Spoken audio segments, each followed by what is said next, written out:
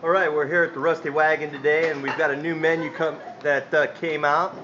This is what she looks like.